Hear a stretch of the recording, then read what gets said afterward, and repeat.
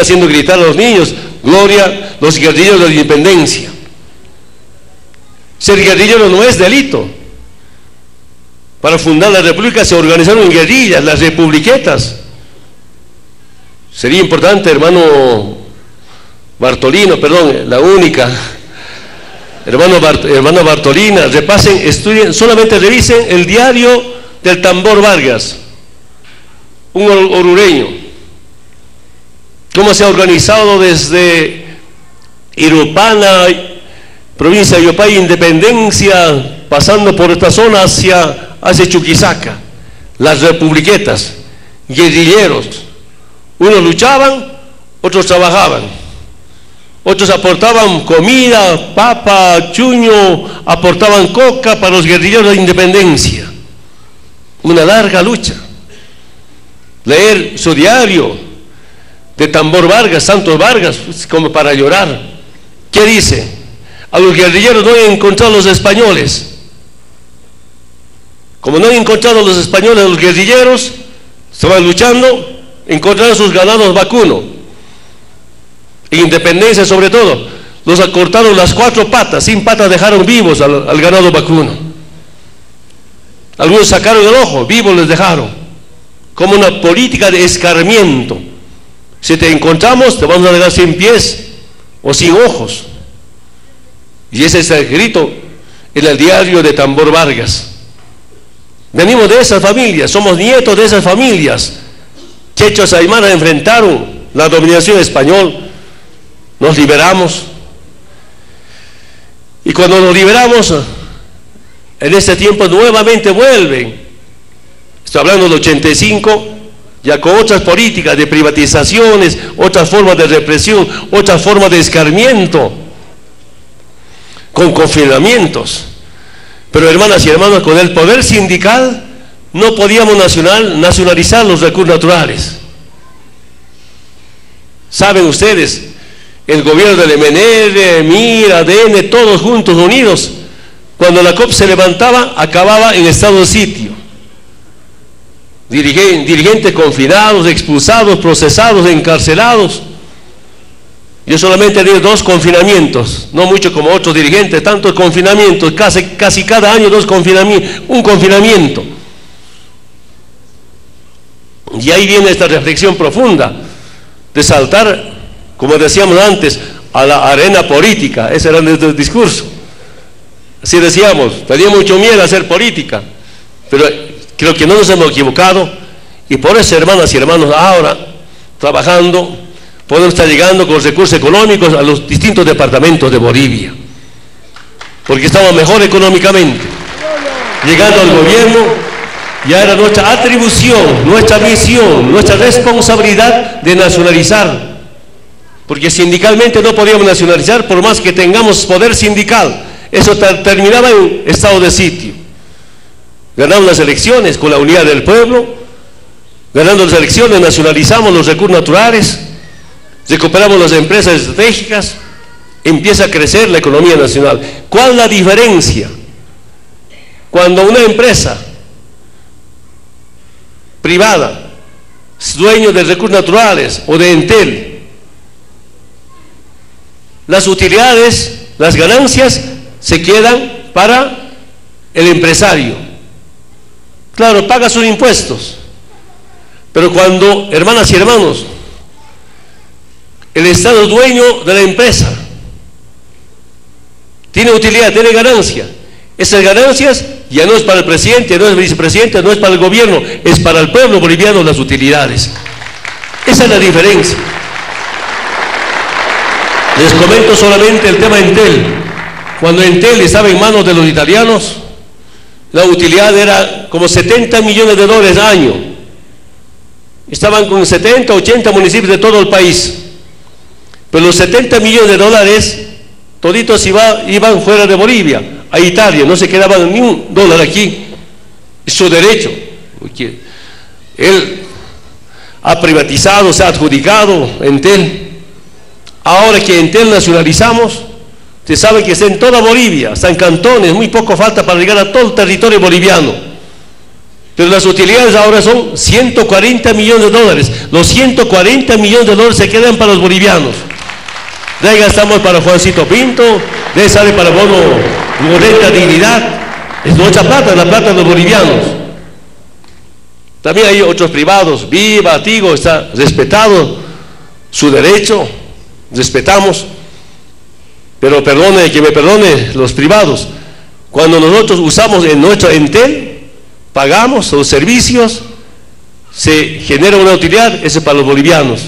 Y cuando usamos en Tigo Viva, también pagamos, las ganancias se quedan para el empresario, no para los bolivianos. Esa es la profunda diferencia. Y cuando el Estado participa en las inversiones, cambia la situación económica del país. Algunos países en América Latina crecen mejor que Bolivia, pero en base al sector privado. Unos pequeños grupos van enriqueciéndose y las utilidades de esos empresarios son para los empresarios y no para ese país. Entonces, si quisiéramos hacer una balanza, como una tabla comparativa, quién sabe, compañeras y compañeros, somos modelos de país en tema de inversión y en tema cómo se puede cambiar la situación económica de nuestra querida Bolivia. Lo que sí, la reflexión debe ser siempre pensar cómo, cómo nos engañaron antes. Con el 21060, cómo gobernaban los extranjeros. Con el 21060 dominaba políticamente la Embajada de Estados Unidos, el Banco Mundial, el Fondo Monetario Internacional. Ellos decidían políticas económicas. Hemos visto en fotografías en los periódicos un miembro del Fondo Monetario Internacional participaba en la reunión del gabinete junto a Gonzalo Sánchez Lozada. En su última gestión, no se puede entender eso. Aquí viene ese gringo, está en el gabinete. Por tanto, si nos damos cuenta, lo que, lo que manejaban en Bolivia, lo que administraban, no era porque los bolivianos querían, ni el gobierno, sino venía desde el imperio norteamericano. Sin embargo, nuevamente, hermanas y hermanos, esa lucha ha durado como 20 años de lucha social, lucha sindical, y gracias a la conciencia, la, la conciencia, yo digo, del pueblo boliviano, la unidad del pueblo boliviano nos ha permitido recuperar la verdadera democracia. Antes había era legítimo, perdón, era legal. Pacto, pacto, pacto. ¿No? Una democracia pactada. Tenía legalidad, pero no tenía legitimidad. Ahora que ganamos como con más del 50%, más del 60%, esa es la verdadera legitimidad y legalidad de la democracia en Bolivia. Pero la derecha, ¿qué nos dice?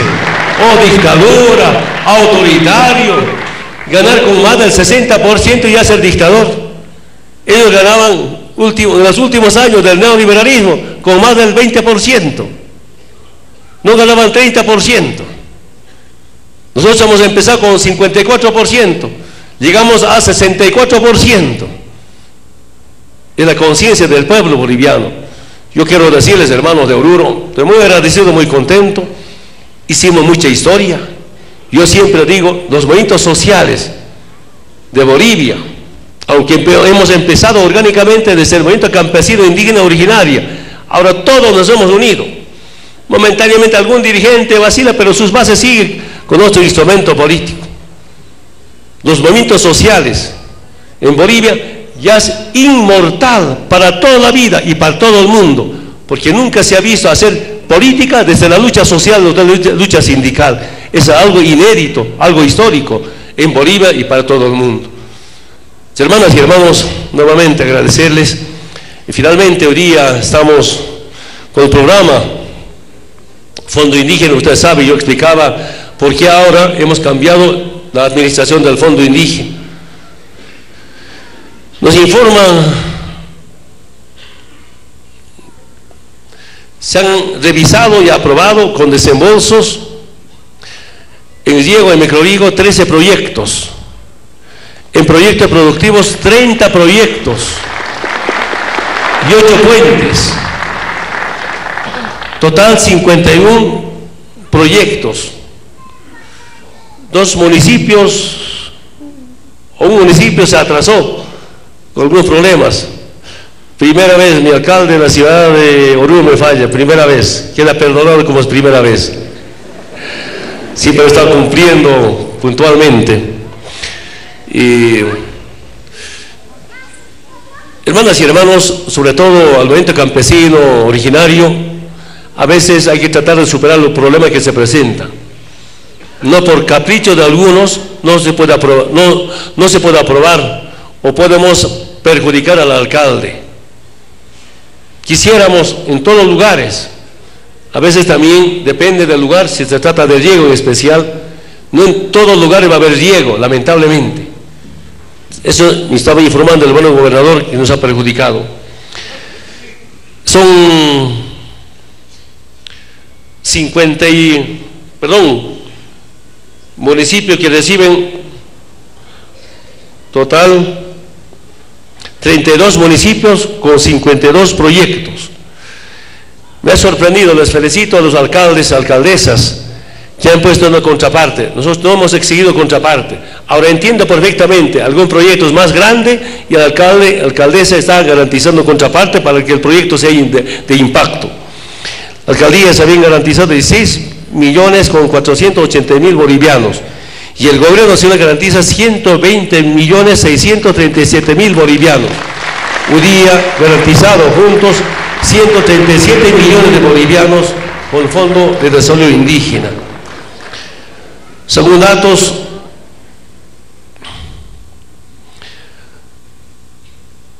mil familias beneficiarias del departamento de Oruro.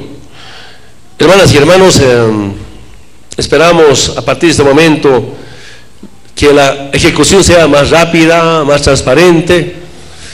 Y también aprovecho esta oportunidad antes de entregar sus desembolsos correspondientes, tal vez algunos simbólicamente, porque yo tengo a otro departamento. Estaba preguntando al hermano alcalde de Andeor, ¿cómo estamos con el programa Bolivia Cambia? ¿Han terminado no? Me dice que ya el 90% han terminado.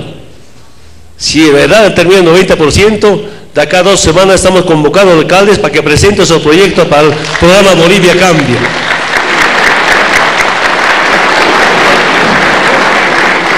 Gracias a la Asamblea Legislativa Plurinacional me ha garantizado otros recursos económicos porque el programa Bolivia Cambia ya me ha terminado en julio, toda la plata. Saben, si el gobernador, si los alcaldes no gastan, les vamos a quitar la plata para que yo gaste en su municipio, en su, en su departamento. De verdad, estamos recuperando algunos ministerios que se atrasaron para eso invertir rápidamente. Yo digo, habiendo plata, ¿cómo no podemos gastar? No hubiera plata, ¿qué podemos hacer? Hay que buscar cómo garantizar plata, cómo garantizar nuevas empresas públicas que generen divisas y esas divisas vuelvan al pueblo boliviano. Pero la Asamblea Legislativa Plurinacional felizmente han otros recursos y por eso de verdad, compañero presidente de Andeor, a todas las alcaldesas, alcaldes, en cualquier momento vas a convocar para que presenten sus proyectos para el programa Bolivia Cambia, no máximo de 3 millones de bolivianos. Hermanas y hermanos, a ver, simbólicamente vamos a entregar algunos proyectos. Pase, compañero. Quiero entregar a mi hermano alcalde Melgarejo, ¿está por ahí?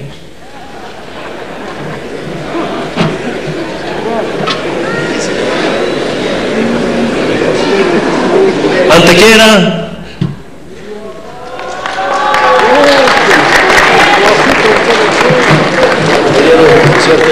Felicidades. Aquí mi alcalde Melgarejo. ¿Sabe por qué Melgarejo? Una vez he ido al aniversario de Toledo. Desfile, creo que medio día tardaba. Sigue desfile, sigue desfile. Este alcalde cambiaba de poncho a un compañero, cambiaba de manta, la manta, los mismos estaban dando vueltas y vueltas, vueltas. Sí. Brenda Navarca.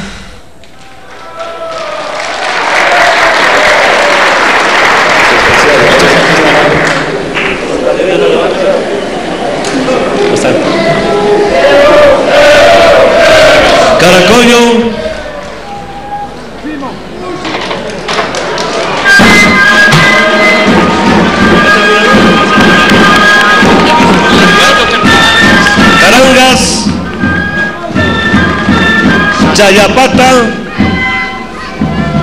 Arangas. No, no. Muchas gracias. Chayapata. Chipaya. Chipaya. Eso.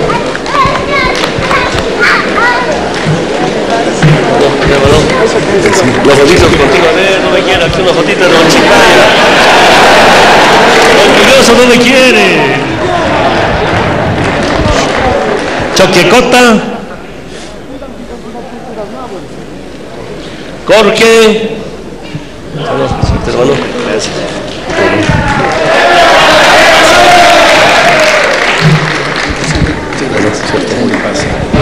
¿Qué pasa? Cruz de Bachabarca.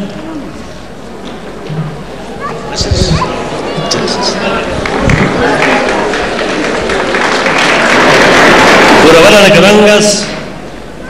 Cruz de Bachabarca. ¿Estás alimentado? El choro.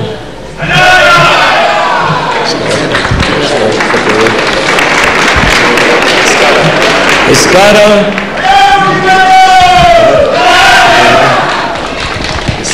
Eso. Condesa.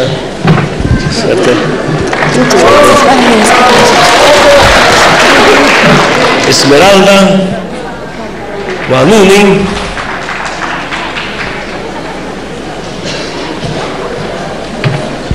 Suerte, hermano. Gracias. La Ribera.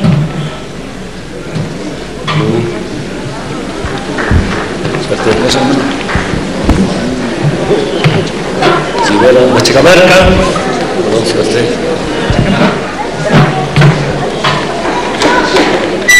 La Chayaya.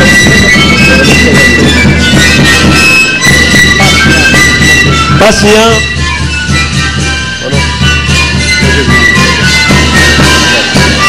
Popo. Popo. Pasia, ¿no? Muchas gracias. Popo. Sabaya. Sabaya. Gracias.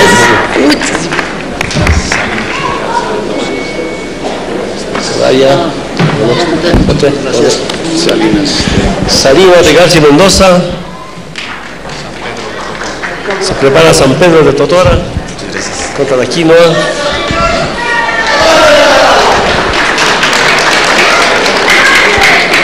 San Pedro de Totora.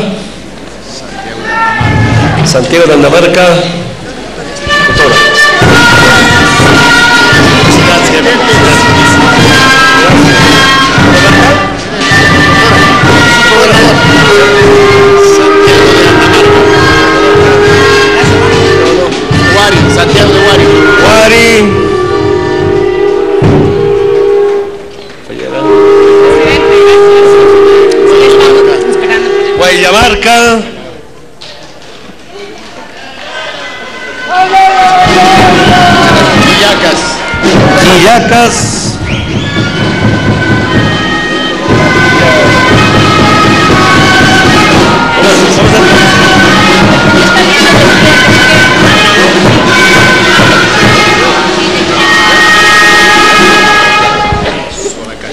Soracachi.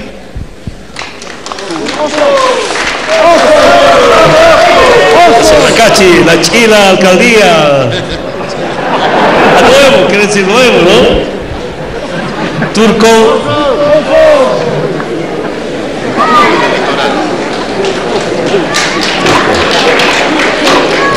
Ya turco.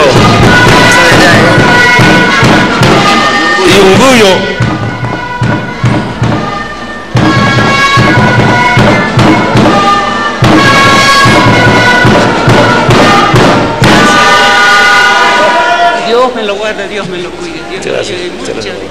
Bueno, muchas gracias hermanos y hermanos para terminar. Ayúdenme. Que viva Oruro.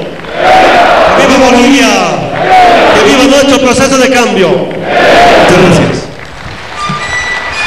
¿Dónde están las Han banderas? sido las las palabras eh, del primer mandatario y también la entrega a los eh, diferentes municipios, la entrega de certificados de de transparencia a las eh, alcaldías y de municipios los municipios del departamento de Oruro por más de Muchísimas gracias 120 a millones de bolivianos para proyectos de riego, nombre proyectos productivos y proyectos de puentes. El valor total de los proyectos asciende a más de 137 millones de bolivianos, de los cuales más de 120 millones corresponde al Fondo de Desarrollo Indígena y más de 16 millones a los gobiernos eh, municipales. 51 proyectos eh, que serán distribuidos en 32 municipios, 626 comunidades eh, que son beneficiadas y más de 12 mil familias que también son beneficiadas con estos eh, proyectos. Con estos eh, certificados, 13 proyectos de riego serán implementados en 10 municipios, 30 proyectos en 23 municipios, 30 proyectos productivos y 8 proyectos de puentes que serán construidos en 5 municipios del departamento.